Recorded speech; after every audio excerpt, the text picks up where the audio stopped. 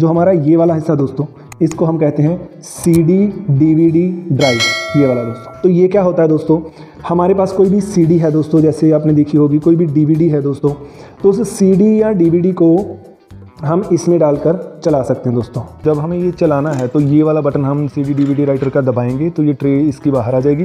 तो जो D V D या सी डी का जो चमकदार साइड है, उसको हम नीचे रखेंगे और जो वाइट पार्ट है सी डी का, वो हम ऊपर रखेंगे। तो उसको ट्रे में रख के इसको वही वाला बटन हम दोबारा से ये यहाँ से दबा देंगे तो ट्रे इसके सी पी यू के अंदर चली जाएगी और ये जो लाइट है, ये जलनी शुरू हो जाएगी।